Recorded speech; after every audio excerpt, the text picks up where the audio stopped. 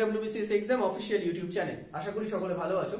তো পরপর দুটো ম্যাথসের যে ক্লাস করিয়েছি তো তারপর আজকে রিজনিং এর ক্লাস দিয়ে শুরু করছি। তো আগে যারা, আজকে প্রথম যারা আমার ভিডিও দেখছ, তারা এর আগে ম্যাথসের ক্লাস দুটো অবশ্যই দেখে নিও। একদম প্রথমে আমি শুরু করেছিলাম কিছু মিক্সড অঙ্ক দিয়ে, যেখানে সমস্ত মিক্সড কিছু অঙ্ক, ভালো ভালো অঙ্ক বেছে নিয়ে আমি স্টার্ট করেছিলাম। তো তারপরে আমি টাইম অ্যান্ড ওয়ার্কের ওপর বেসিক থেকে শুরু করে অ্যাডভান্স সমস্ত রকম অঙ্ক করিয়েছি এবং প্রত্যেকটা রুলস ভালো করে শর্ট ট্রিক দিয়ে বুঝিয়ে করিয়েছি। তো সেটা একবার তোমরা দেখে নিও। ডেসক্রিপশন বক্সে এই ভিডিও ডেসক্রিপশন বক্সে তোমরা পেয়ে যাবে সেই লিঙ্কগুলো আর তারপর যে ভিডিওটা আমি আপলোড করেছি, সেটা হচ্ছে প্রিভিয়াস ইয়ার অর্থাৎ ডাব্লিউবিসিএস মেন্স এর প্রিভিয়াস ইয়ার লাস্ট পাঁচ বছরের টাইম অ্যান্ড ওয়ার্কের উপর যত অঙ্ক এসেছিল, সেই সমস্ত ইম্পর্টেন্ট অঙ্কগুলো আমি সলভ করিয়ে দিয়েছি। তো অবশ্যই এই ইম্পর্টেন্ট ভিডিওগুলো তোমরা দেখে নিও। ডেসক্রিপশন বক্সে সমস্ত লিঙ্ক দেওয়া আছে। তো চলো আজকে একটু রিজনিং এর ক্লাস করানো হোক। তো রিজনিং এর ক্লাসে আমি প্রথম যেটা চুজ করলাম যে ক্লাসটা সেটা হচ্ছে নাম্বার সিরিজের ক্লাস নাম্বার সিরিজ এমন একটা মানে রিজনিং এর মধ্যে পড়ছে যেটা দেখবে সবারই একটু ভয় থাকে নাম্বার সিরিজের ওপর। কারণ অন্যান্য যে সমস্ত নাম্বার সিরিজগুলো থাকে মানে রিজনিংগুলো থাকে, সেগুলো দেখবে তোমরা মোটামুটি কম বেশি সবাই পারো। তো নাম্বার সিরিজ এমন একটা রিজনিং যেটা দিয়ে যে কোনো কাউকে মানে যে কোনো এক্সামে কিন্তু কঠিন কোশ্চেন করে ফেলা যায় নাম্বার সিরিজ দিয়ে। আর চট করে দেখবে টাইমের মধ্যে সেটা মাথায়ও আসে না। তো নাম্বার সিরিজকে ভালো করে শিখতে গেলে তোমাদের কিছু বেসিক এবং কিছু কনসেপচুয়াল জিনিস জানতে হবে, কিছু মানে রুলস জানতে হবে যেগুলো কাজে লাগানো যেতে পারে। এমনিতে নাম্বার সিরিজের কিন্তু সাধারণত সেরকম কোনো ফিক্সড নিয়ম থাকে না যে এইভাবে হতে পারে বা ওভাবে হতে পারে। নাম্বার সিরিজ ব্যাপারটা হচ্ছে এক্সামিনার তোমার কাছে দেখতে চাইবে যে ইনস্ট্যান্ট তুমি ব্যাপার মানে একটা জাস্ট একটা সিরিজ দিয়ে দেখতে চাই যে ইনস্ট্যান্ট তোমার যে সেই সিরিজটা সলভ করার কতটা বুদ্ধি রয়েছে। মানে ইনস্ট্যান্ট তুমি পরীক্ষার হলে বসে কতটা সেটাকে যুক্তি দিয়ে সেই অ্যান্সারটা বের করে আনতে পারছ। তো এটা হচ্ছে নাম্বার সিরিজের ব্যাপার। তো এখানে যেটা হয়, কিছু বেসিক রুলস রয়েছে যেগুলো অ্যাপ্লাই করে সহজে নাম্বার সিরিজ বের করা যায়। আর কিছু কিছু নাম্বার সিরিজ আছে যেগুলো একেবারে তার মানে ওই সিরিজটার জন্য ফিক্সড একটাই রুল আছে এবং সেই রুলটা না জানলে কোনোভাবেই সেটা হবে না।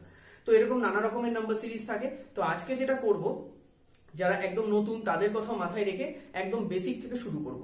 অর্থাৎ প্রথম দিকে সহজ, তারপরে মডারেট এবং তারপরে হার্ড তো সমস্ত রকম নাম্বার সিরিজই থাকবে। তো আজকের প্রথম নাম্বার সিরিজের ভিডিওতে চলো শুরু করি।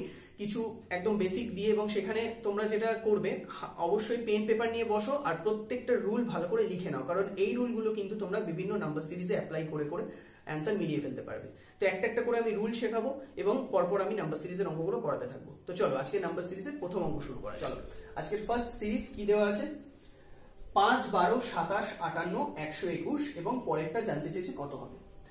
তো যখন এরকম একটা সিরিজ দেওয়া থাকবে, যারা একদম নতুন, আমি একদম বেসিক ভাবে বলি, এরকম একটা সিরিজ দিয়ে দেবে, দিয়ে জানতে চাইবে যে জিজ্ঞাসা চিহ্ন যেখানটা আছে কোশ্চেন মার্ক সেখানটায় কত হবে। এখানে যে সিরিজটা দেওয়া থাকে, সেখানে প্রত্যেকটা সংখ্যা একজন আরেকজনের সাথে একটা কোনো সম্পর্ক যুক্ত থাকে। পাঁচের সঙ্গে বারো একটা সম্পর্ক যুক্ত। একটা কোনো লজিকের মাধ্যমে পাঁচের থেকে বারো এসছে বারো থেকে সাতাশ এসছে, সাতাশ থেকে আটান্ন এবং একইভাবে একশো একুশের পরে লজিক্যালি সেই সংখ্যাটা কত হবে জানতে চেয়েছে। তো এক্ষেত্রে আমরা যেটা করব, আমাদের প্রথমে দুটো লজিক আগে বুঝতে হবে। ফার্স্ট একটা, যে সিরিজটা দেওয়া থাকবে তার স্লোপটা দেখব। কারণ স্লোপ থেকেই আমাদের অনেক সিরিজের অ্যান্সার চলে আসবে। স্লোপ যদি আমরা দেখি, সেক্ষেত্রে আমরা দেখব যে এই স্লোপটা ছোট থেকে বড়, ছোট থেকে বাড়ছে ইনক্রিজ হচ্ছে। এবার কথা হলো যে এই যে ইনক্রিজটা হচ্ছে, এই ইনক্রিজটা কীরকম ভাবে হচ্ছে? অর্থাৎ খুব স্লোলি ইনক্রিজ করছে, নাকি খুব মানে হাই জাম্পে ইনক্রিজ হচ্ছে? এখানে আমরা দেখতে পাচ্ছি পাঁচের থেকে বারো হয়েছে। অর্থাৎ ডাবলেরও বেশি, আবার বারো থেকে সাতাশ হয়েছে। এটাও ডাবলেরও বেশি। তো প্রত্যেকটা দেখতে পাচ্ছি ডাবল ডাবলেরও বেশি হচ্ছে। তো যখন ডাবল ডাবলেরও বেশি, তার মানে জাম্পটা অনেক বেশি ইনক্রিজটা খুব হাই হচ্ছে। স্লোলি ইনক্রিজ হচ্ছে না। পাঁচের পরে সাত, সাতের পরে নয় বা এগারো, এরকম যদি থাকতো তাহলে খুব স্লোলি ইনক্রিজ হতো। তা তো হচ্ছে না। এখানে খুব বড় বড় জাম্পে ইনক্রিজ হচ্ছে। তো আমাদের মাথায় রাখতে হবে, যখন এই ইনক্রিজটা বা ডিক্রিজটা খুব বেশি মাত্রায় হবে, বড় বড় সংখ্যায় জাম্প করে করে হবে, তখন আমরা সেখানে ভাগ বা গুণের লজিক কাজে লাগাবো। ঠিক আছে? ভাগ বা গুণের লজিকটা তখন আসবে। আর যখন এই ইনক্রিজ বা ডিক্রিজটাই যখন খুব ছোট ছোট ভাবে হবে, অর্থাৎ পাঁচের পরে সাত, সাতের পরে এগারো, এগারোর পর তেরো, এরকম ছোট ছোট ভাবে হবে, কম ডিস্টেন্সের হবে, সেক্ষেত্রে আমরা লাগাবো যোগ বা বিয়োগের কনসেপ্ট কাজে লাগাবো। যোগ বা বিয়োগের কনসেপ্ট যখন ছোট ছোট ডিফারেন্স থাকবে। সেক্ষেত্রে আমাদের যোগ বা বিয়োগের কনসেপ্ট লাগানো মানে ডিফারেন্সের কনসেপ্ট আসবে। তো আমাদের এখানে যেহেতু বড় বড় জাম্প তো সেক্ষেত্রে আমরা গুণ বা ভাগের লজিক কাজে লাগাবো। এবার আমরা ছোট থেকে বড় দিকে যাচ্ছি তাহলে পরিষ্কার বোঝা যাচ্ছে গুণের কনসেপ্ট কাজে লাগাতে হবে। তো এখানে গুণের কনসেপ্ট যখন লাগাতে হবে, তো আমি ফার্স্টে কি মাথায় আসবে? আমার লজিকটা কি মাথায় আসবে?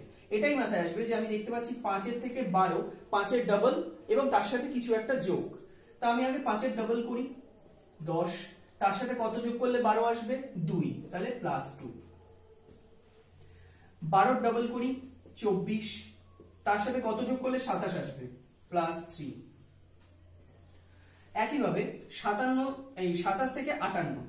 অবশ্যই আমি সাতাশের ডবল করব, চুয়ান্ন, এবং তার সাথে প্লাস ফোর করলে আটান্ন। তাই এখানে আমরা দেখতে পাচ্ছি into two into two into two মানে প্রত্যেকটাই আমাদের ডাবল করতে হচ্ছে। তার মানে একইভাবে এখানেও আমরা তাই করব ডাবল করব, এবং তার সাথে কত যোগ করব? দেখো, আর করারই দরকার পড়বে না। ব্যাপারটা দেখো, এখানে দুই, তারপর যোগ হচ্ছে তিন, তারপর যোগ হচ্ছে চার। তাহলে অটোমেটিক্যালি এখানেও নিশ্চয়ই যোগ হবে পাঁচ। যোগটা হবে পাঁচ। একইভাবে একশো একুশ যেটা আছে, যার থেকে একদম ফাইনাল অ্যান্সার বেরোবে, সেটাও আগে ফার্স্টে ইন্টু টু করব। দুশো বিয়াল্লিশ। এবং এখানে যেহেতু চারের পরে পাঁচ যোগ হয়েছে, তাহলে নিশ্চয়ই পাঁচের পরে ছয় যোগ হবে। যোগ হলো ছয়। তাহলে প্লাস সিক্স অর্থাৎ অ্যান্সার হচ্ছে ফাইনালি টু ফোর এইট এটা হলো অ্যান্সার তাহলে পরিষ্কার বোঝা গেল যে যখন আমাদের একটা সিরিজ দেওয়া থাকবে, এবং এটা তোমরা করে দেখো আটান্ন ইন্টু টু প্লাস ফাইভ করলে চলে আসছে হচ্ছে ওয়ান টু ওয়ান তাহলে সেক্ষেত্রে এই লজিকটা কাজে লাগছে যে কি? যে যদি একটা সিরিজ ছোট থেকে বড় হয় বা বড় থেকে ছোট হয়, এবং সেই ইনক্রিজ বা ডিক্রিজটা যদি খুব বেশি মাত্রায় হয়, তাহলে আমরা গুণ বা ভাগের লজি এখানে কাজে লাগাবো। তাহলে আমরা এখানে নাম্বার সিরিজ যেখানে শিখব এই ব্যাপারটা, সেক্ষেত্রে আমাদের মাথায় রাখতে হবে শুধুমাত্র একটা অঙ্ক পেলাম আর তার সলিউশন দেখে নিলাম তাহলেই হলো না। সলিউশনটা ওইভাবে কেন হলো সেই ভাবনাটা প্র্যাকটিস করতে হবে। তো এভাবে পাওয়া গেল। এই অঙ্কটাই আমরা কি যোগ বা বিয়োগের কনসেপ্টেও কাজে লাগিয়ে করতে পারি। চলো নেক্সট অঙ্কে আমরা সেটা দেখব যে কীভাবে যোগ বা বিয়োগের কনসেপ্ট কাজে লাগানো যায়। এবং যেখানে আমরা যোগ বা বিয়োগের কনসেপ্ট কাজে লাগাবো, সেখানে এই ডিফারেন্সটা দেখতে হবে। আমরা যেমন এখানে কোনো ডিফারেন্স দেখলাম না, তখন পাঁচ আর বারোর মধ্যে ডিফারেন্স বারো এবং সাতাশের মধ্যে ডিফারেন্স সাতাশ এবং আটান্নর মধ্যে ডিফারেন্স ডিফারেন্স মানেই হচ্ছে এগুলোর মধ্যে বিয়োগ ফল, অর্থাৎ বিয়োগের কনসেপ্ট ছোট থেকে বড় হলেই যোগ আর বড় থেকে ছোট হলেই বিয়োগের কনসেপ্ট কাজে লাগবে। চলো নেক্সট অঙ্কটা করলে আরও ক্লিয়ার হবে। নেক্সট ওকে কি আছে দেখো? একদম সহজ এটা। চার, পাঁচ, নয়, আঠেরো, চৌত্রিশ এবং পরের সংখ্যাটা জানতে চেয়েছে। এক্ষেত্রে কি করব? আগের অঙ্কে ঠিক যেরকম বলেছিলাম স্লোপ ইনক্রিজ করছে, এখানেও দেখো স্লোপটা ইনক্রিজ করছে। তফাৎ শুধু একটাই, আগের অঙ্কটায় স্লোপটা যে ইনক্রিজ করছিল, সেটা খুব বেশি মাত্রায় করছিল, অর্থাৎ জাম্প করছিল। প্রায় ডবলেরও বেশি হচ্ছিল। এখানে কিন্তু তা হচ্ছে না। এখানে খুব ছোট ছোট ইনক্রিজ করছে। চারের থেকে পাঁচ হয়েছে, পাঁচের থেকে নয় হয়েছে। তো ইজিলি আমরা যখন বলেছি যে যখন ছোট ছোট ইনক্রিজ করবে, তখন যোগ বা বিয়োগের কনসেপ্ট এখানে কাজে লাগবে। তো আমাকে এখানে ফার্স্ট কি করতে হবে? ডিফারেন্সটা দেখতে হবে। ডিফারেন্স দেখা মানেই হচ্ছে এখানে বিয়োগটা দেখা। তো বিয়োগের কনসেপ্ট কাজে লাগিয়ে আমি এখানে ফার্স্ট ডিফারেন্সটা দেখব। ডিফারেন্স হচ্ছে ওয়ান এটার ডিফারেন্স কত? চার। এটার ডিফারেন্স নয়। ষোলো। পেয়ে গেলাম আমরা ডিফারেন্স ডিফারেন্স যখন পেয়ে গেছি এটা তো আমরা ইজিলি বুঝতে পারছি, এটা ওয়ান স্কোয়ার এটা টু স্কোয়ার এটা থ্রি স্কোয়ার এটা ফোর স্কোয়ার তাহলে নিশ্চয়ই পরেরটা কত হবে? অবশ্যই এটা হবে হচ্ছে ফাইভ স্কোয়ার তো ফাইভ স্কোয়ার হওয়া মানে পঁচিশ। তাহলে পঁচিশ আর চৌত্রিশ কি হবে? যোগ হবে, কারণ ষোলো আর আঠেরো যোগ করে চৌত্রিশ পেয়েছি, নয় আর নয় যোগ করে আঠেরো পেয়েছি। তাহলে পঁচিশ আর চৌত্রিশ যোগ করলে পাঁচ চার নয়, তিন দুই পাঁচ। ক্লিয়ার তাহলে আমরা এদিকে পেয়ে গেলাম কত? ফিফটি নাইন তাহলে এটা হচ্ছে আমাদের ফাইনাল অ্যান্সার তাহলে আমাদের প্রথম কাজই হচ্ছে ফার্স্ট ডিফারেন্স বার করে নেওয়া এবং ডিফারেন্সগুলোর মধ্যে কি সম্পর্ক আছে সেটা বের করা। এবার একটা কথা বলি, সেক্ষেত্রে ধরো সাপোজ এখানে যে সংখ্যাগুলো আছে, সেগুলো খুব বড় বড় সংখ্যার স্কোয়ার যদি আসতো, এখানে, এই সিরিজটাতে। যদি এখানে এক, চার, নয়, ষোলো, পঁচিশ না এসে খুব বড় বড় সংখ্যার স্কোয়ার আসতো এবং চট করে হয়তো একজনের মানে যারা অঙ্কটা করছে তাদের হয়তো মাথায় এলো না যে এগুলো কার স্কোয়ার হতেই পারে, হয়তো মাথায় এলো না। তো সেই ক্ষেত্রে তখন কি করতো? তারা কি করবে? সেই মুহূর্তে অন্য কি প্রসেস হতে পারে? সেক্ষেত্রে আমরা যেটা করব ডিফারেন্সেরও ডিফারেন্স বার করব। তাহলে অঙ্কটা হয়ে যাবে। যেহেতু বলেছি একটা সিরিজ শুধুমাত্র একটা নিয়মে নয়, তার বেশি নিয়মেও হতে পারে। দেখো কীরকম?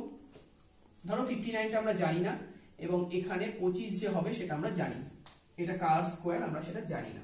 এরকম ভাবে শুধু ডিফারেন্সটা এসছে। তো সেক্ষেত্রে আমরা কি করব? ডিফারেন্সেরও ডিফারেন্স বার করব। এটা শুধুমাত্র কেন দেখাচ্ছি? যখন কঠিন অঙ্ক আসবে এটা তো একদম সহজ অঙ্ক, এবং আমরা শুধুমাত্র যারা নতুন, তাদের জন্য এত সহজ অঙ্ক দিয়ে করাচ্ছি, যাতে লজিকগুলো পরপর বলতে পারি নিয়মগুলো। তো এরপরে কঠিন অঙ্কগুলো আসছে, তো সেক্ষেত্রে দেখবে, যখন এরকম বড় বড় কোনো স্কোয়ার আসবে, সেক্ষেত্রে হয়তো মাথায় নাই আসতে পারে, তার জন্য জাস্ট দেখাচ্ছি যে ডিফারেন্সের ডিফারেন্স দিয়ে কীভাবে অ্যান্সারটা আসে। এক থেকে চার ডিফারেন্স তিন। চার থেকে নয় ডিফারেন্স পাঁচ। নয় থেকে ষোলো ডিফারেন্স সাত। তাহলে এর পরের ডিফারেন্সটা কত হবে? দেখো, তিন, তার সাথে দুই বেশি পাঁচ, তার সাথে দুই বেশি সাত, তাহলে নিশ্চয়ই তার পরেরটা সাতের থেকে দুই বেশি, অর্থাৎ নয় হবে। তাহলে ষোলো যেটা এসছিল, এইদিকে দেখো, তিন আর একে চার এসছে, পাঁচ, চার, নয় এসছে, সাত আর নয়, ষোলো এসছে। তাহলে নয় আর ষোলো নিশ্চয়ই এখানে পঁচিশ আসবে। বসিয়ে দিলাম পঁচিশ, পেয়ে গেলাম আমরা পঁচিশটা। এবার কি হলো? একইভাবে চার আর একে পাঁচ এসছে, পাঁচ, চার, নয় এসছে, নয় আর নয়, আঠেরো এসছে। আঠেরো আর ষোলো চৌত্রিশ এসছে সেম ভাবে চৌত্রিশ আর পঁচিশ আসলে নয়, পাঁচ ফিফটি নাইন অ্যান্সার বেরিয়ে গেল। অর্থাৎ যা বোঝা গেল যে এটা একদম সহজ একটা অঙ্ক, সেক্ষেত্রে আমরা ইজিলি স্কোয়ারগুলো বুঝতে পেরে গেছিলাম বলে আমাদের আর থার্ড লাইনটা করার দরকারই পড়েনি, অর্থাৎ ডিফারেন্সের ডিফারেন্স বার করার দরকারই পড়েনি। কিন্তু যদি কোনো বড় বড়সড় অঙ্কে সেক্ষেত্রে ডিফারেন্সের ডিফারেন্স বার করতে হয় বা স্কোয়ারটা বুঝতে না পারি, সেক্ষেত্রে কিন্তু আমরা ডিফারেন্সের ডিফারেন্স দিয়েও অঙ্কটার অ্যান্সার বার করতে পারি এবং সেটা খুব ইজি তো বোঝা গেল একটা অঙ্ক দুরকম লজিক দিয়েও হয়। তো এবার চলো একটু কঠিন কঠিন অঙ্কের দিকে এগোই আস্তে আস্তে। এটা একদম সহজ। চলো নেক্সট অঙ্কে দেখা যাক পরের কি লজিক আছে। ওকে নেক্সট দেখো কি বলেছে? চোদ্দ, আঠেরো, বিরাশি, একশো আঠেরো, ছশো তিরিশ এবং তারপরেরটা কত জানতে চেয়েছে। কি করব? ফার্স্ট হচ্ছে দেখতে পাচ্ছি স্লোপ ইনক্রিজ করছে। স্লোপ ইনক্রিজ করা মানে আমি বলে দিয়েছিলাম যে কোনো দুটো হয় ভাগ বা অথবা বিয়োগের প্রসেস এখানে দেখো, চোদ্দ থেকে আঠেরো খুব অল্প ইনক্রিজ করেছে। আঠেরো থেকে বিরাশি আবার একটু বেশি ইনক্রিজ করেছে। সেদিকে আবার বিরাশি থেকে একশো আঠেরো অল্প ইনক্রিজ করেছে। একশো আঠেরো থেকে ছশো তিরিশ অনেকটা জাম্প করেছে। অর্থাৎ স্লোপটাতে ঠিক কি হবে? গুণ বা ভাগ নাকি যোগ না বিয়োগ ঠিক বোঝা যাচ্ছে না। তো যেহেতু ইনক্রিজ করছে, ভাগের কনসেপ্ট তো ছেড়েই দাও। এবং তার সাথে সাথে এখানে বিয়োগের কনসেপ্ট ছেড়ে দাও। তো চোদ্দ থেকে আঠেরো, আমার ফার্স্ট কাজ হচ্ছে আমি একটু ডিফারেন্সটা দেখে নিই। যদি আমি এখানে ডিফারেন্স না থেকে, অন্য কোনো লজিক অ্যাপ্লাই করতে যাই, দেখো এখানে চোদ্দ চোদ্দ দুগুণে আঠাশ বাড়বে, আঠেরোর কাছাকাছি কিছু আসবে না, আবার আঠেরোর সঙ্গে কিছু এমন কিছু গুণ করে আমি বিরাশির কাছাকাছি নিয়ে যেতে চাইলে লজিকে আসবে না। আমি আবার যদি এটা করি চোদ্দ একে চোদ্দ প্লাস চার, আঠেরো, তাহলে সেইভাবে দেখতে গেলে আঠেরোর সাথে ওরকম কিছু গুণ করে তুমি যোগ করে মেলাতে পারবে না, বা যেটুকু যোগ করবে, তার সাথে এই প্লাস চারের কোনো সম্পর্ক থাকবে না। ফলে জিনিসটা পুরো হ্যাপাজেটলি একটা বাজে জায়গায় চলে আসছে। তো সেক্ষেত্রে আমরা ফার্স্ট আমাদের কাজ হচ্ছে একটু ডিফারেন্সটা দেখে নিই, কত আসছে। চোদ্দ থেকে আঠেরো ডিফারেন্স হচ্ছে চার। ডিফারেন্স কত? চার, ছয়, চৌষট্টি। বিরাশি থেকে একশো আঠেরো। ডিফারেন্স কত হবে? ছয়, দুই, আট আট, তিন, এগারো থার্টি সিক্স একশো আঠেরো থেকে ছশো তিরিশ। ডিফারেন্স কত হবে? দুই, এক, পাঁচ। পাঁচশো বারো। তাহলে এটা কত? অর্থাৎ এখানে ডিফারেন্সটা জানতে পারলে আমি জেনে যাব ওখানে কত হবে।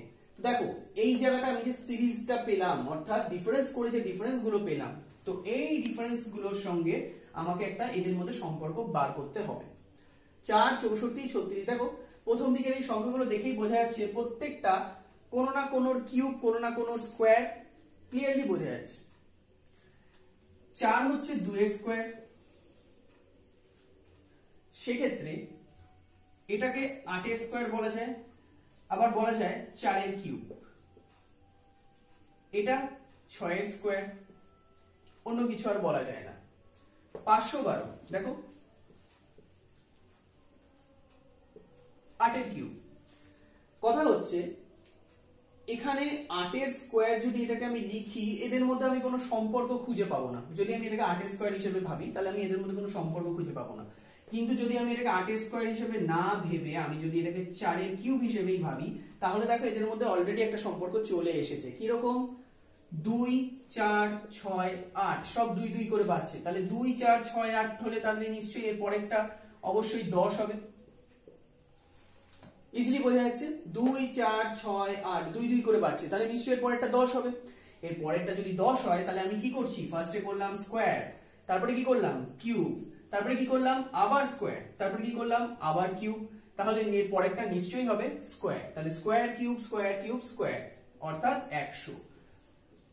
তাহলে পরিষ্কার বোঝা যাচ্ছে ক্রসে ক্রসে সব যোগ হতে হতে গেছে। এটা এটা যোগ করে হয়েছে ছশো তিরিশ, তাহলে নিশ্চয়ই ছশো তিরিশ আর একশো যোগ করে হয়ে যাবে সাতশো তিরিশ, তাহলে ফাইনাল অ্যান্সার আমার সাতশো তিরিশ। ক্লিয়ারলি বোঝা গেল? তাহলে ব্যাপারটা কি দাঁড়াল? আমরা ফার্স্টে ডিফারেন্স করলাম এবং ডিফারেন্সগুলোর মধ্যে সম্পর্ক বের করলাম যে কি হতে পারে। অর্থাৎ একটা জিনিস মাথায় রাখতে হবে, সবকিছুই যে ডিফারেন্স করে এবং ডিফারেন্সের পরেও ডিফারেন্স করে যে আমরা বের করব তা কিন্তু নয়। কিছু কিছু দেখা যায় এক লাইনে ডিফারেন্সটা করার পরই তাদের মধ্যে সম্পর্ক বেরিয়ে আসে। যদি বেরিয়ে আসে আমরা ইজিলি অ্যান্সার পেয়ে যাব।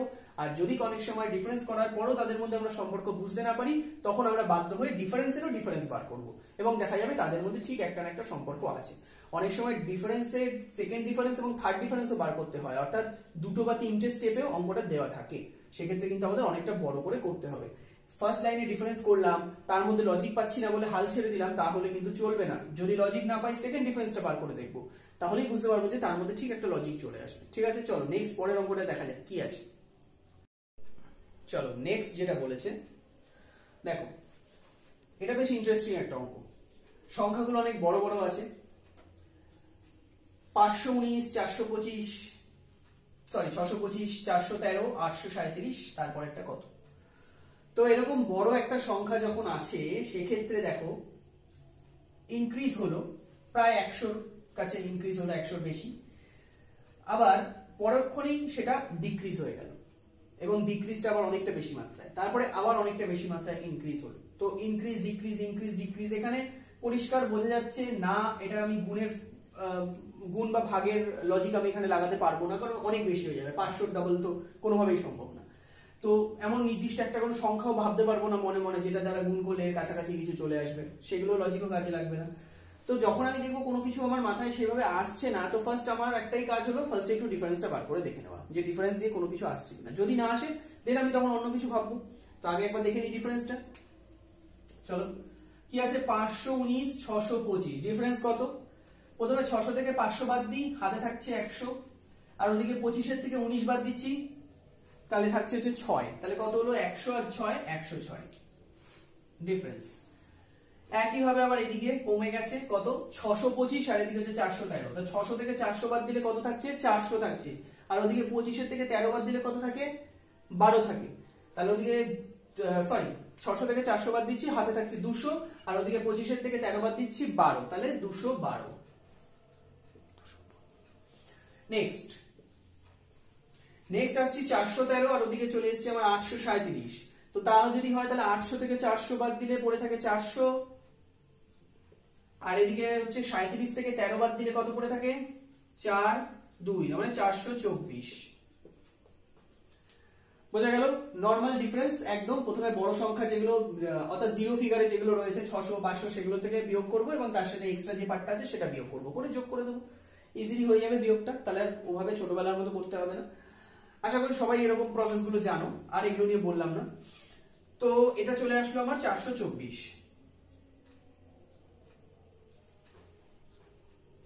নেক্সট এইটা কত? অর্থাৎ এই ডিফারেন্সটা কত হবে? এই ডিফারেন্সটা জানতে পারলেই আমি ফাইনাল অ্যান্সারে পৌঁছে যাব। তো চলো এদের মধ্যে, অর্থাৎ আমি যেটা বললাম ফার্স্ট একটা ডিফারেন্স বার করব, তাদের মধ্যে এবার সম্পর্ক খোঁজার চেষ্টা করব যে কি লজিকে তারা রয়েছে। তো এদের মধ্যে আমি একটা সম্পর্ক খোঁজার চেষ্টা করি। এটা তো দেখেই বোঝা যাচ্ছে এদের মধ্যে সম্পর্ক হচ্ছে ডাবল ইন্টু টু ছয় দুগুণে বারো, দুই একে দুই। সম্পর্ক পেয়ে গেছি ইন্টু টু এদের মধ্যে দেখি তো সম্পর্কটা ইন্টু টু কিনা? দেখলাম হ্যাঁ ইন্টু টু সম্পর্ক ইন্টু টু দেখো দুই দুগুণে চার, দুই একে দুই দুই দুগুণে চার। ডাবল তাহলে অবভিয়াসলি এটাও ডাবল হবে। যখন ডাবল করেই বাড়ছে সিরিজটা, তাহলে এটাও ডাবল হবে। চার দুগুণে আট, দুই দুগুণে চার চার দুগুণে আট, আটশো আটচল্লিশ। এইবার হচ্ছে আসল মজা এখানটা। কীরকম মজা? দেখো এখানে আমি ডিফারেন্সগুলো তো পেয়ে গেলাম, সব কটার ডিফারেন্স আমি পেয়ে গেছি। এবার দেখো, পাঁচশো উনিশ থেকে ছশো পঁচিশ বেড়েছে ইনক্রিজ করেছে। ছশো পঁচিশ থেকে চারশো তেরো ডিক্রিজ করল। তাহলে ফার্স্টে হলো ইনক্রিজ দেন আবার ডিক্রিজ দেন আবার চারশো থেকে আটশো গেল, কি হলো? ইনক্রিজ তার মানে আমাকে এই জায়গাটাও মাথায় রাখতে হবে সিরিজে শুধুমাত্র পেলাম আর যোগ করে দিলাম তা কিন্তু নয়, আমাকে মাথায় রাখতে হবে ইনক্রিজ হচ্ছে না ডিক্রিজ হচ্ছে। এখানে কিন্তু মিক্স সিরিজ দিয়েছে। ফার্স্টে ইনক্রিজ হয়েছে দেন আবার ডিক্রিজ হয়ে গেছে। আবার ইনক্রিজ হয়েছে, তাহলে আমি পরেরটা নিশ্চয়ই ডিক্রিজ করব, কখনো ইনক্রিজ করব না। অর্থাৎ চারশো তেরো থেকে আটশো সাঁত্রিশ আমি চারশো চব্বিশ যোগ করে দিয়েছি, তবে আটশো সাঁত্রিশে গেছে। তাহলে একইভাবে আটশো সাঁত্রিশ থেকে নিশ্চয়ই আটশো আটচল্লিশকে বিয়োগ করে দেবো। বিয়োগ করে দিলে তবেই এটা চলে আসবে আমার ফাইনাল অ্যান্সার কারণ এটা ডিক্রিজ হবে। অর্থাৎ এটা থেকে এত কমবে, কমে গিয়ে আমি ফাইনাল অ্যান্সারটা পাবো। তাহলে আটশো আটচল্লিশ থেকে আটশো সাঁত্রিশ আমি বিয়োগ করব। সাতের পর এক অর্থাৎ একটা মাইনাস চিহ্ন আসবে। কেন মাইনাস চিহ্ন আসবে? আমি ছোট থেকে বড়কে বাদ দিচ্ছি, তাহলে সেক্ষেত্রে মাইনাস আসবে। তাহলে অ্যান্সার আসবে আমার মাইনাস এগারো। যথেষ্ট ইন্টারেস্টিং একটা অঙ্ক। তো আশা করি সবাই বুঝতে পেরেছ, আমি ডিফারেন্স বার করলাম ডিফারেন্সের মধ্যে সম্পর্ক বার করলাম। তারপরে অঙ্কটা শেষ নয়, আমাকে মাথায় রাখতে হবে যে এখানে যেহেতু মিক্স সিরিজ দিয়েছে, শুধুমাত্র ইনক্রিজ বা শুধুমাত্র ডিক্রিজ দেয়নি, তাই ইনক্রিজ ডিক্রিজ ইনক্রিজ ডিক্রিজ করে গেছে। তাই লজিক অনুযায়ী পরপর যেভাবে যাবে, আমাকে সেইভাবেই কাজটা করতে হবে। ছোট সংখ্যা থেকে বড় সংখ্যাকে আমি ডিক্রিজ করিয়েছি, সেই জন্য অ্যান্সারটা মাইনাস এসছে। চলো নেক্সট আরেকটা ইন্টারেস্টিং অঙ্ক করা যাক। চলো নেক্সট সিরিজ কি বলেছে? এটা একটা দারুণ বেশ অন্যরকম অঙ্কটা, একটু অন্যরকম অঙ্ক দিলাম এবার। দেখো, একটা পুরো মিশ্র ভগ্নাংশের সিরিজ দিয়ে দিয়েছে। তো এই ধরনের মিশ্র ভগ্নাংশের সিরিজ এরকম টাইপের যখন দিয়ে দেবে, এখানে দেখো, এখানে এতক্ষণ যেসব বেসিক যে লজিকগুলো বলছিলাম, সেসব লজিক কিন্তু এখানে কাজে লাগবে না। এরকম যখন হঠাৎ করে পরীক্ষা হলে একটা মিশ্র ভগ্নাংশের সিরিজ দিয়ে দেবে সেক্ষেত্রে দেখো এগারো, বারো, চোদ্দ, ষোলো, কিছুই ভাবতে পারবে না যে এটা কি ধরনের, কি হতে পারে। তো এক্ষেত্রে একটাই উপায় আছে আমার হাতে, সেটা হলো ফার্স্টে আমি মিশ্র ভগ্নাংশগুলোকে ভেঙে ফেলি। ভেঙে ফেলে আগে অপ্রকৃত ভগ্নাংশে পরিণত করে করি নয়, এগারো, নিরানব্বই আর একে একশো। একশো বাই নয়। চব্বিশ আর একে পঁচিশ পঁচিশের দুই। আটানব্বই আর দুয়ে একশো একশো বাই সাত। আটচল্লিশ আর দুয়ে পঞ্চাশ পঞ্চাশ বাই তিন। তারপর একটা কি? দেখো, এই জায়গাটায় যখন এলো, তখন একটু আইডিয়া পাচ্ছি একটা। এতক্ষণ কিছুই আইডিয়া ছিল না। যতক্ষণ আমি ভেঙে, ভাঙিয়ে নিলাম জিনিসটাকে, এবার একটু আইডিয়া পাওয়া যাচ্ছে। দেখো, নিচের দিকটা যদি দেখি, এর মধ্যে কোনো লজিক নেই। নয়, দুই, সাত, তিন, না কোনো সিরিজের কোনো মিল আছে, না কিছু আছে। বাট ওপর দিকটা যদি দেখি, সেক্ষেত্রে একশো একশো আছে, পঁচিশ আছে, পঞ্চাশ আছে। এক্ষেত্রে আমাদের মাথায় একটা জিনিস আগে স্ট্রাইক করবে, যে আমরা এটুকু জানি যে যেহেতু এটা একটা ভগ্নাংশ, একটা ভগ্নাংশকে কিন্তু কোনো একটা সংখ্যা দ্বারা গুণ করে বা ভাগ করে প্রায় সমান সমান করা যেতে পারে। যেমন ধরো এই যে ভগ্নাংশগুলো লবগুলো যদি আমরা দেখি, লবগুলোতে দেখো আছে একশো পঁচিশ, একশো পঞ্চাশ। কিন্তু নিচে যে হরগুলো আছে, দেখো তুমি নয়কে কোনোভাবেই গুণ ভাগ করে দুই আনতে পারবে না। মানে দুই বানাতে পারবে না, বা দুইকে কোনো কিছু করে সাত বানাতে পারবে না। বাট একটা জিনিস আমরা দেখতে পাচ্ছি, পঁচিশকে কিন্তু একশো বানানো যেতে পারে। পরপর দুটো একশো আছে। পঁচিশকেও একশো বানানো যেতে পারে, পঞ্চাশকেও কিন্তু একশো বানানো যেতে পারে। কিছু না কিছু গুণ করে। তো আমরা সেটাই করব। কি করব? একশো বাই নয় যেমন আছে রাখলাম, পঁচিশকে একশো বানাতে গেলে কত দ্বারা গুণ করতে হয়? চার দিয়ে। চার, পঁচিশ, একশো। আর আমরা জানি ভগ্নাংশের লবে যা অপারেশন করব, আমাকে হরেও সেম অপারেশন করতেই হবে। তাহলে সেক্ষেত্রে আমি চার, পঁচিশ, একশো করেছি, চার দিয়ে গুণ করেছি। তাহলে এখানে নিচেও আমি চার দিয়ে গুণ করব, আট। এটাতে একশো রয়েছে, আমি এটাকে আর কিছু করব না। এটা পঞ্চাশ, দুই দিয়ে গুণ করলে একশো চলে আসবে, করলাম একশো, নিচেরটাকেও দুই দিয়ে গুণ করতে হবে, ছয়। তাহলে দেখো, একদম সহজে চলে এসছে।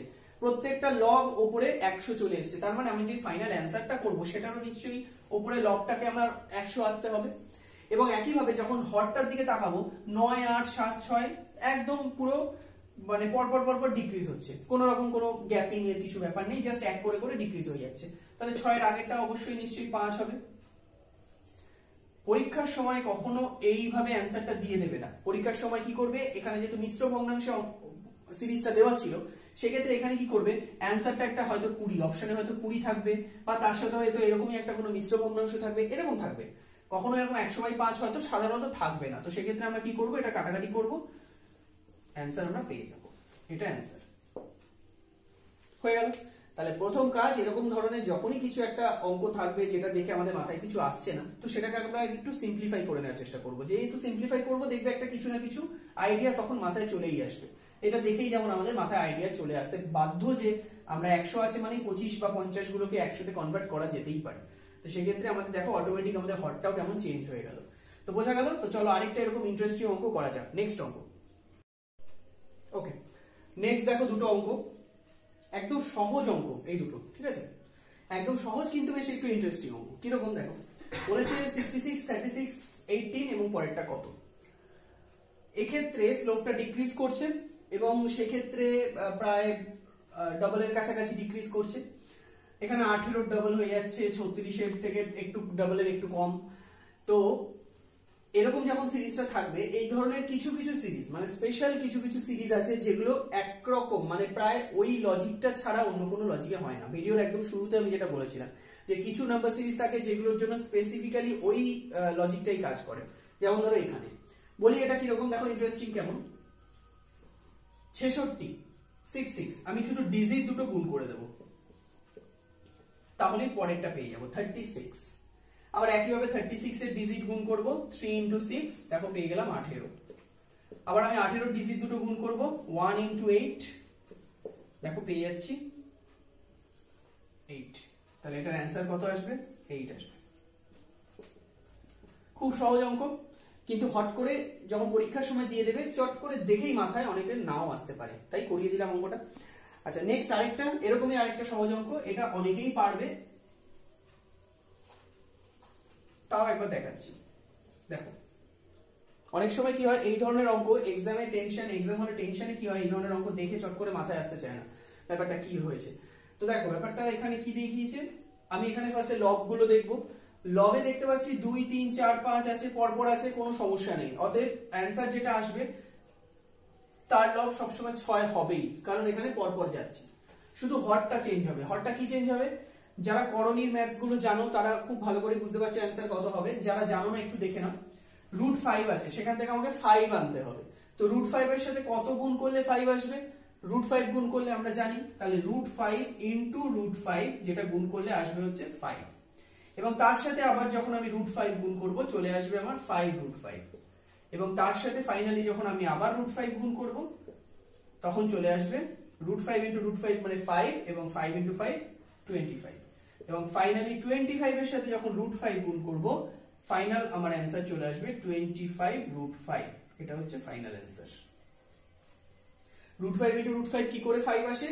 যারা করণীর এই রুলটা জানো না, তাদের জন্য বলে দিই রুট তুলে দেওয়া মানেই হচ্ছে সেই সংখ্যাটার মাথায় পাওয়ার হাফ রুটকে আমরা যদি তুলে দিই, সংখ্যাটার মাথায় পাওয়ার আসে হাফ আর তার মানে এখানে ফাইভ ইন্টু রুট ফাইভ আছে, তাহলে ইন্টু আবার এটারও তাই রুটটা তুলে দিচ্ছি টু দি পাওয়ার হাফ আর আমরা জানি ইন্ডেক্স অর্থাৎ করণীর অঙ্কগুলো হচ্ছে শার্টস এবং তারপরের চ্যাপ্টার যেটা ইন্ডেক্স শার্টস এন্ড ইন্ডেক্স চ্যাপ্টারটা করলেই ক্লিয়ারলি বুঝে যাবে। এরকম যখন দুটো সংখ্যার গুণ থাকবে এবং তাদের মাথায় যখন পাওয়ার থাকবে, সংখ্যা দুটো যদি একই হয়, অর্থাৎ এই দুটোকে বলা হয় বেস এবং এই দুটোকে বলা হয় পাওয়ার তো বেস যদি একই থাকে, সেক্ষেত্রে কমন বেস চলে আসে পাঁচ এবং পাওয়ার যেটা থাকে, সেটা যদি এরকম গুণ করতে দেয়, তাহলে পাওয়ারটা হয়ে যাবে যোগ। তাহলে এখানে পাওয়ার যোগ হওয়া মানে হাফ প্লাস হাফ সমান এক। Five to the power one মানে অ্যান্সার ফাইভ সেক্ষেত্রে হলো ফাইভ একইভাবে এর সঙ্গে আবার রুট ফাইভ গুণ হবে। রুট ফাইভ গুণ হওয়া মানে five to the power one আর এটা হচ্ছে হাফ সেটা যোগ হয়ে যাচ্ছে। ঠিক একই প্রসেসে পরপর এইভাবে আমরা এগোচ্ছি। তাহলে যখন দুটো রুটের মধ্যে গুণ হচ্ছে, তার মানেই হচ্ছে ফাইভ ইন্টু রুট ফাইভ মানে হচ্ছে ফাইভ রুট ফাইভ আর এদিকে হচ্ছে আমার রুট ফাইভ যখন আবার গুণ হচ্ছে রুট ফাইভ এর সাথে, সেটা হয়ে যাচ্ছে শুধু ফাইভ তাহলে পাঁচ পাঁচে পঁচিশ। তাহলে বোঝা গেল একদম সহজ একটা অঙ্ক। চলো নেক্সট এবার একটু কঠিন অঙ্কের দিকে এগোনো যাক। এতক্ষণ বেশ কয়েকটা সহজ অঙ্ক পরপর করলাম। নেক্সট অঙ্ক। ওকে নেক্সট অঙ্ক। দেখো এই সিরিজটা একটু অন্যরকম এই সিরিজটা। কীরকম? এই যে ইনক্রিজ হয়েছে, এই ইনক্রিজের ক্ষেত্রে যখন আমরা দেখব যে একটা সিরিজ ইনক্রিজ করছে এবং সেটা প্রায় শেষের দিকে এসে অনেক বড় বড় সংখ্যা ইনক্রিজটা হচ্ছে, আমরা সেক্ষেত্রে কি করব? সবচেয়ে সহজ উপায় হলো এই ধরনের অঙ্কের ক্ষেত্রে একটু বড় যে দিকটা সেদিক থেকে শুরু করা। একদম ছোট দিক থেকে শুরু করলে অরিজিনাল যে লজিক সেটা কিন্তু আমরা পাবো না। কারণ এটা সাধারণত দেখে আমাদের মনে হচ্ছে বারো দুগুণে চব্বিশ প্লাস সিক্স এরকম কিছু একটা লজিক হতে পারে, বা তিন বারণ ছত্রিশ মাইনাস সিক্স এই ধরনের মনে হচ্ছে আমাদের। কিন্তু চট করে অরিজিনাল লজিকটা আমরা যেতে পারব না। তো সেক্ষেত্রে আমরা একদম বড় দিকটা দিয়ে শুরু করি। এখানে যে দুটো সংখ্যা রয়েছে, এই দুটো সংখ্যার মধ্যে থেকে আমরা কি বুঝতে পারছি? তেরোশো আটষট্টি আছে, সাতাশশো তিরিশ আছে। সেক্ষেত্রে তেরোশো আটষট্টি প্রায় ডবল কারণ তেরো দুগুণে ছাব্বিশ, তার থেকে একটু বেশি। তো সেক্ষেত্রে আমরা এখানে পরিষ্কার বুঝতে পারছি জিনিসটা যে এটা ডবল হয়েছে। তো সেই একটা অঙ্ক যেমন করিয়েছিলাম যে যেহেতু ডবল হয়ে প্লাস কিছু হচ্ছে, তাহলে সেক্ষেত্রে একবার করেই দেখা যাক ডবল করার পর কত আসে। তো এটার সঙ্গে এটাতে আমরা ডবলটা আগে করি। ষোলো, তিন, সাত, দুই। সাতাশ, ছত্রিশ। আর ওটা আছে সাতাশ, তিরিশ। তার মানে কত কম আছে? ছয় কম আছে মানে মাইনাস সিক্স সাতাশ ছত্রিশ, তার থেকে মাইনাস সিক্স মানে ছয় কম আছে, সাতাশ তিরিশ। এটুকু বুঝলাম। একইভাবে আমি যদি এটা করে দেখি কত আসছে? এটা দেখো চার আছে, তেরোর কাছাকাছি, চারশো ষাট মানে চার আছে, তেরোর কাছাকাছি যেতে হবে। তার মানে বোঝা যাচ্ছে তিন চারে বারো মানে প্রায় তিন গুণ। করে দেখা যাক, তিন গুণ। শূন্য, তিন চারে বারো, তেরো। তেরোশো আশি, আর ওটা হচ্ছে তেরোশো আটষট্টি। তার মানে বারো কম, অর্থাৎ মাইনাস বারো। ইন্টু থ্রি মাইনাস বারো। তাহলে এই জায়গাটা তো ক্লিয়ার বুঝতেই পারছি যে ইন্টু টু হয়েছে ইন্টু থ্রি হয়েছে। তাও যদি আমাদের কনফিউশন থাকে, আমরা এটাও করে দেখতে পারি। সেক্ষেত্রে ইন্টু ফোর করি, কারণ চার বারো আটচল্লিশ আছে তো ছেচল্লিশ, তার কাছাকাছি যেতে হবে। তাহলে চার গুণ চার বারো আটচল্লিশ মানে চারশো আশি। তো চারশো আশি যদি হয়, এখানে আছে আবার চারশো ষাট। কত কম? কুড়ি কম, মাইনাস কুড়ি। দেখো, মাইনাস কুড়ি। তো এত লজিক্যালি আমরা বুঝতেই পারছি ব্যাপারটা যে এখানে দাঁড়াচ্ছে হচ্ছে দুই ইন্টু দুই ইন্টু তিন ইন্টু ফোর তার মানে এটা হয়ে যাবে কত? ইন্টু ফাইভ এই জায়গাটা আসবে আমার ইন্টু ফাইভ আর এই জায়গাটা আসবে আমার হচ্ছে ইন্টু সিক্স ইন্টু ফাইভ যদি হয়, কত আসছে? দেড়শো। দেড়শো থেকে দেড়শো থেকে একশো কুড়ি কত কম? তিরিশ কম। অর্থাৎ মাইনাস তিরিশ। বোঝা গেল? একইভাবে এখানে ছয় বারং বাহাত্তর। বাহাত্তর থেকে তিরিশ কত কম? Minus forty two. বিয়াল্লিশ কম। তাহলে একটা জিনিস আমরা এবার খেয়াল করে দেখি এখান থেকে। সিরিজটা আমরা প্রায় পেয়েই গেছি। কীরকম? Into six into five into four into three into two তার মানে এখানে পরিষ্কার বোঝা যাচ্ছে, এখানে হবে হচ্ছে ইন্টু ওয়ান একটা আমরা পেয়ে গেলাম। এবার আমাকে পেতে হবে কি? কত করে মাইনাস হচ্ছে সেটা পেতে হবে। সেই লজিকটাই যেতে হবে। দেখো, কত করে মাইনাস হচ্ছে সেটাকে যদি আমি আলাদা করে এখানে লিখি, তাহলে ক্লিয়ারলি বোঝা যাবে ব্যাপারটা। মাইনাস বিয়াল্লিশ মাইনাস তিরিশ মাইনাস কুড়ি, আর এখানে মাইনাস হচ্ছে, বারো মাইনাস হচ্ছে এখানে ছয় মাইনাস হচ্ছে। তাহলে এখানে কত মাইনাস হবে সেটা আমাকে পেতে হবে। কি করে পাবো? এদের মধ্যে সম্পর্কটা দেখি। ছয় থেকে বারো। ছয়। বারো থেকে কুড়ি। আট। কুড়ি থেকে তিরিশ, দশ, তিরিশ থেকে বিয়াল্লিশ, বারো। তার মানে কত হচ্ছে? দুই দুই করে দেখো। বারো থেকে দশ দুই কমেছে, দশ থেকে আট দুই কমেছে, আট থেকে ছয় দুই কমেছে, তাহলে ছয় থেকে কত কমবে? সেই দুই কমবে। ছয় থেকে দুই কমা মানে চারে চলে যাবে। ছয় থেকে দুই কমা মানে অর্থাৎ এই সরি এখানটায় নয়, এই ডিফারেন্সটা এইখানটায় চার চলে আসবে, ছয় থেকে দুই কমবে, অর্থাৎ চারে চলে যাবে।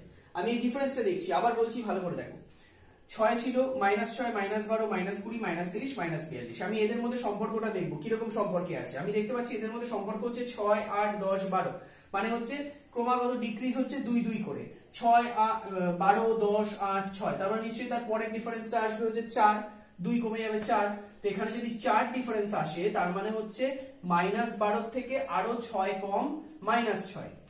মাইনাস কুড়ির থেকে আট কম মাইনাস বারো। মাইনাস বারোর থেকে ছয় কম মাইনাস ছয়।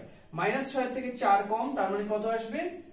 মাইনাস টু একইভাবে, দেখো পরপর গেছে। মাইনাস বিয়াল্লিশ, তার থেকে বারো কম। মাইনাসের কথাটা আমি যদি ছেড়েও দিই মাইনাস ধরো ছেড়েই দিলাম। মাইনাসটা এখানে তো মাইনাস করতে হচ্ছে বলে আমি মাইনাস লিখেছি। এটা না লিখলে আরও সহজ হয়ে যাবে ব্যাপারটা। ধরো মনে করো এখানে মাইনাস মাইনাস কিছু না জাস্ট সংখ্যাগুলো, আমাকে সংখ্যাটা বার করতে হবে। আরও ইজিলি বোঝাই, সংখ্যাটা বার করতে হবে। বিয়াল্লিশ থেকে তিরিশে চলে যেতে হবে, বারো কমিয়ে দেবো, তিরিশ থেকে কুড়িতে চলে যাব, দশ কমিয়ে দেবো। কুড়ি থেকে বারোতে নামতে হবে, আট কমাবো, বারো থেকে ছয় ছয় কমাবো। ছয় থেকে কততে যেতে হবে? চার, এই যে চার কমাবো, তাহলে কততে পৌঁছাবো? দুইতে পৌঁছাবো।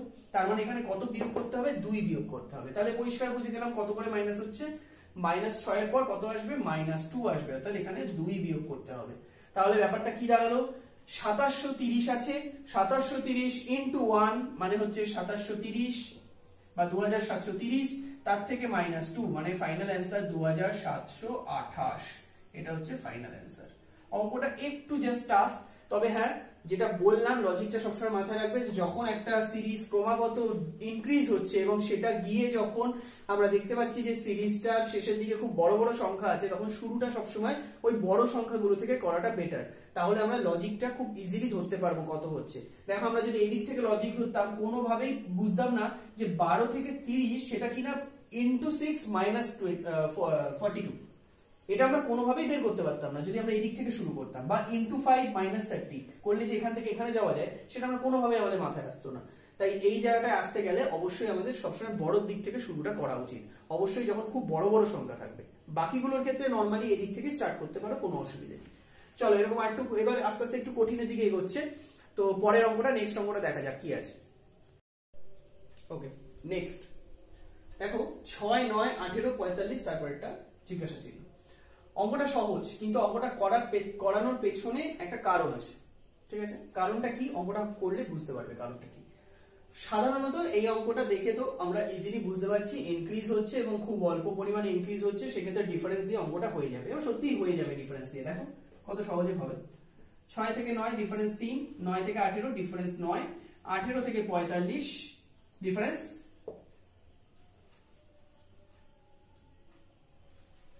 সাতাশ। তাহলে পরেরটা কত? কি বোঝা যাচ্ছে এটা থেকে?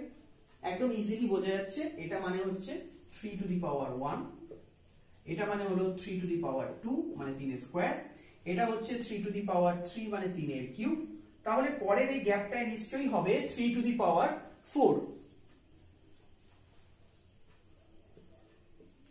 এটা নিশ্চয়ই হবে। অর্থাৎ এইটটি ওয়ান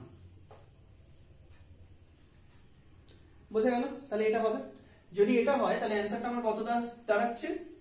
এটা যোগ করে এটা এসছে। এটা যোগ করে এটা এসছে। এটা যোগ করে এটা এসছে। তাহলে এটা যোগ করে নিশ্চয়ই অ্যান্সারটা আসবে। পাঁচ আর একে ছয়, আট চার, বারো, একশো ছাব্বিশ। এটা হলো অ্যান্সার চলে এলো। একশো ছাব্বিশ। ইজিলি চলে আসলো আমার অঙ্কটা। তাহলে পরিষ্কার বোঝা গেল যে ডিফারেন্স করব এবং তার মধ্যে আমি সম্পর্ক পেয়ে গেলাম। ডিফারেন্সগুলো সম্পর্কের মধ্যে চলে আসছে যে প্রত্যেকটাই তিনের ঘরে পাওয়ার প্রত্যেকটা তিনের কোনো না কোনো পাওয়ার চলে আসলো একশো ছাব্বিশ। এবার কারণটা, অঙ্কটা করানোর কারণটা কি? এটাতে এলো একশো ছাব্বিশ।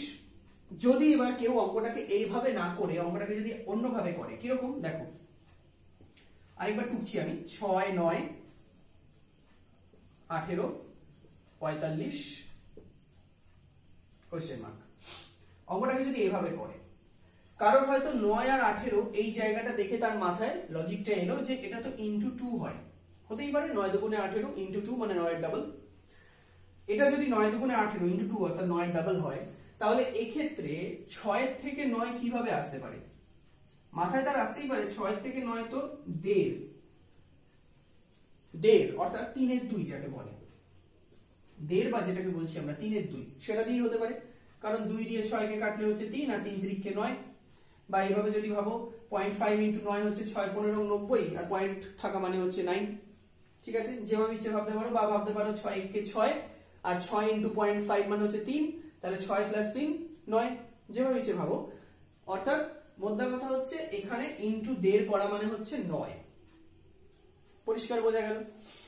এটা থেকে এটা, অর্থাৎ আঠেরো, তার সঙ্গে ইন্টু দেখো, দেড় দুই, তাহলে পরেরটা নিশ্চয়ই আড়াই, দেড় দুই, পরেরটা আড়াই, বোঝা যাচ্ছে?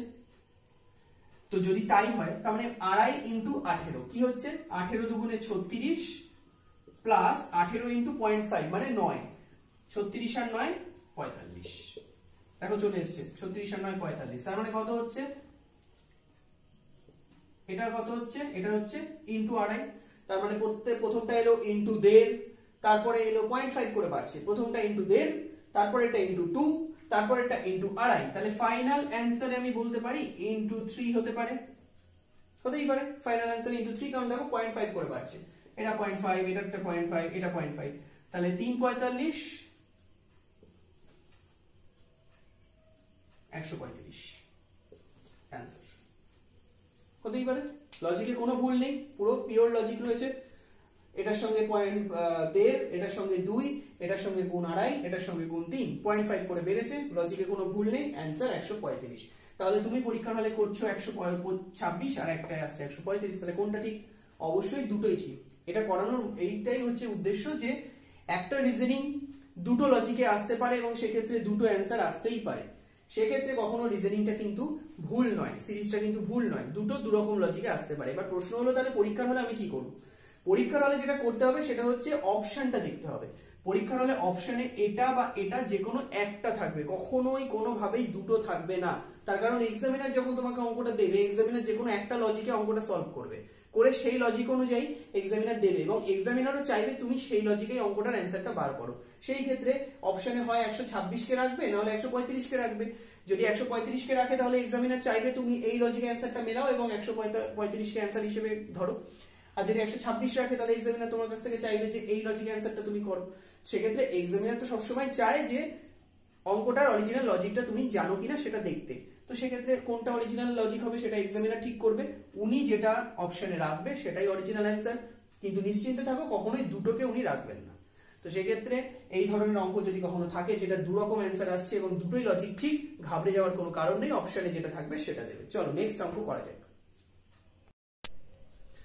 আচ্ছা নেক্সট নেক্সট অঙ্কের সিরিজটা দেখো।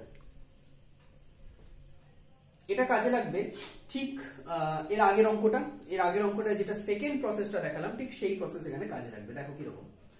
যেটা বলেছিলাম যে মাঝখানের একটা সংখ্যা থেকে অনেকের মাথায় অন্য লজিকটা আসতে পারে, এখানে ঠিক সেম জিনিস এখানে চলে আসবে। পাঁচ, তার থেকে তিন কমলো আবার চার বেড়ে গেল, আবার একটা সংখ্যা মিসিং এবং লাস্টে সতেরো। তো দেখো ফার্স্ট এই জায়গাটা দেখো। এই লজিকটা থেকেই ফার্স্টে ইনটু ওয়ানের কনসেপ্টটা মাথায় আসবে ইনটু ওয়ান এটা যদি ইনটু ওয়ান হয়, এর পরেরটা কি দেড় হবে, নাকি দুই হবে না কি হবে, আমি তো বুঝতে পারছি না, কারণ এখানে ফাঁকা। অতএব আমাকে এই জায়গাটা বুঝতে হবে যে এখানটায় লজিকটা কি আসছে। এই লজিকটা যদি বুঝতে পেরে যাই, তাহলে পরের লজিকটা আমরা ইজিলি ধরে ফেলতে পারব। এই লজিকটা কি আসবে? এখানে যেহেতু এক, আমি দেখতে পাচ্ছি, তিন এক তিন এক তিন সরি সরি একটু প্লাস ওয়ান শুধু তিন একে তিন না তিন একে তিন প্লাস ওয়ান মানে into one plus one into one plus one এটা দেখেই বোঝা যাচ্ছে যে ইন্টু ওয়ান প্লাস ওয়ান হলো। সেক্ষেত্রে এইটা, এবার অনেকের মাথায় এই প্রশ্নটা আসতে পারে যে হঠাৎ করে ইন্টু ওয়ান প্লাস ওয়ান কেন? এখানে তো তিনের থেকে চার সামান্য বেড়েছে। অতএব প্রথম দিকে আমি যেটা বলেছিলাম যে ছোট ছোট করে যদি বাড়ে তাহলে আমরা যোগ বা বিয়োগের কনসেপ্টে যাব বা ডিফারেন্সের কনসেপ্টে আসব।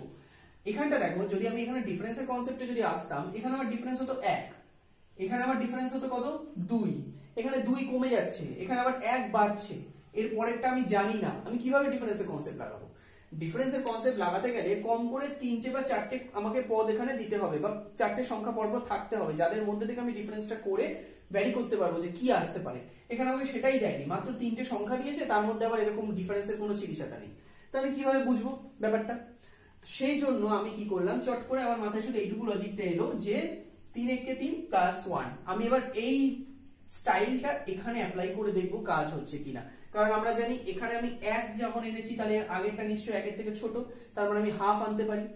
তো দেখা যাক five into half plus half তাতে তিন আসছে কিনা। অবভিয়াসলি তিন আসছে, পাঁচের দুই প্লাস হাফ মানে ছয়ের দুই মানে হচ্ছে তিন। বা পয়েন্ট ফাইভ হিসেবেও ভাবতে পারো, যারা পয়েন্টে ভাবতে সুবিধা হয়, তারা পয়েন্ট ফাইভ হিসেবে ভাবো। Five into point five plus point five ঠিক আছে? তাহলে ফাইভ ইন্টু পয়েন্ট ফাইভ মানে হচ্ছে আড়াই প্লাস পয়েন্ট ফাইভ মানে হচ্ছে আড়াই প্লাস পয়েন্ট ফাইভ মানে হচ্ছে তিন, বেরিয়ে গেল তিন। তার মানে আমার এখানে লজিকটা পরিষ্কার ভাবে কাজে লেগেছে। অর্থাৎ into half plus half into one plus one তার মানে ব্যাপারটা কত? পয়েন্ট ফাইভ করে এগোচ্ছে। ইন্টু ওয়ান প্লাস ওয়ান তার মানে এর পরেরটা নিশ্চয়ই হবে ফোর ইন্টু দেড় প্লাস দেড় বা into one point five plus one point five যা বলতে পারো, বা এটাকে কেউ তিনের দুই যাদের ভগ্নাংশ দিয়ে ভাবতে সুবিধে, তারা ভগ্নাংশ দিয়ে ভাববে। যাদের পয়েন্টে ভাবতে সুবিধে, তারা পয়েন্টে ভাববে। কোনো প্রবলেম নেই। ঠিক আছে? দুই দিয়ে চারকে কাটলে হয় দুই, তিন দুগুণে ছয় ছয় প্লাস তিনের দুই। ঠিক আছে? তাহলে ছয় প্লাস তিনের দুই মানেই হচ্ছে বারো আর তিনে পনেরো দুই পনেরো দুই মানে হচ্ছে সাড়ে সাত। চলে আসলো সাড়ে সাত। বা তোমরা এখান থেকেও করতে পারো। চার, পনেরো ষাট মানে হচ্ছে ছয়। পয়েন্টে আছে তাই ছয়। ছয় আর ওয়ান পয়েন্ট ফাইভ যোগ করলে হচ্ছে সেভেন পয়েন্ট ফাইভ এবার কথা হলো, এই তো আমার চলে আসলো সেভেন পয়েন্ট ফাইভ এটাকে আমি ফাইনালি অ্যান্সার বলে দিতে পারি। তো যাদের মনে কনফিউশন থাকবে, তারা কি করবে? Into into point five plus point five যেটা বেরোলো, সেটা দিয়ে বেরোলো হচ্ছে সেভেন পয়েন্ট ফাইভ আমার কাজ হচ্ছে হাফ দিয়ে শুরু করেছিলাম। হাফ এক, দেড়, তাহলে নিশ্চয়ই পরেরটা কত হবে? দুই হবে। কারণ পয়েন্ট ফাইভ করে আমি এগোচ্ছি। ফার্স্টে পয়েন্ট ফাইভ তারপরে ওয়ান তারপরে ওয়ান পয়েন্ট ফাইভ তারপরে এরপরে নিশ্চয়ই দুই হবে। তাহলে আমি দেখে নেব, আমি যেটাকে অ্যান্সার হিসেবে বলছি, তার সঙ্গে ইন্টু দুই প্লাস দুই করলে এই সতেরোটা আসছে কিনা, সেটা আমি দেখে নেব। এই জিনিসটা দেখলেই আমি পরিষ্কার বুঝে যাব। অর্থাৎ পঁচাত্তর ইন্টু দুই মানে হচ্ছে, বলতে পারি দেড়শো পয়েন্ট আছে, তার মানে হচ্ছে ফিফটিন তাহলে ফিফটিন প্লাস টু সেভেন্টিন তাহলে পরিষ্কার বোঝা গেল ইন্টু টু প্লাস টু লজিকে মিলে গেল সতেরো। তাহলে আমার এটাকে অ্যান্সার হিসেবে বলতে কোনো প্রবলেম নেই। তাহলে আমার final answer seven point five clear চলো নেক্সট অঙ্কে যাওয়া যাক। নেক্সট এবং লাস্ট অঙ্ক, খুব ভালো ইম্পর্টেন্ট একটা অঙ্ক। চলো, এগোনো যাক। আচ্ছা চলো লাস্ট অঙ্ক আজকে দেখে নি দেখো, যখন এরকম একটা বড় সিরিজ দেওয়া থাকবে, শুরুটা দেখো কি দিয়ে? জিরো দিয়ে শুরু করেছে।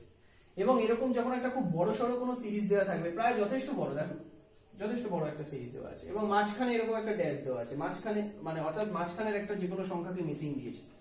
এরকম যখন থাকবে, সাধারণত এরকম থাকলে বুঝতে পারবে যে এই সিরিজটা একটা সিঙ্গেল সিরিজ নয়। এর মধ্যে একটা বা দুটো সিরিজ লুকিয়ে রয়েছে। ঠিক আছে? একটা বা দুটো সিরিজকে পাঞ্চ করে এই সিরিজটা বানানো হয়েছে। সেটা বুঝে নিতে হবে। যখন দেখবে এরকম বড় বড় সিরিজ দেওয়া আছে। এবং মাঝখানে কোনো একটা জায়গায় ড্যাশ বা এরকম জিজ্ঞাসা চিহ্ন দিয়ে দেওয়া আছে। দেখো কি করে বুঝব?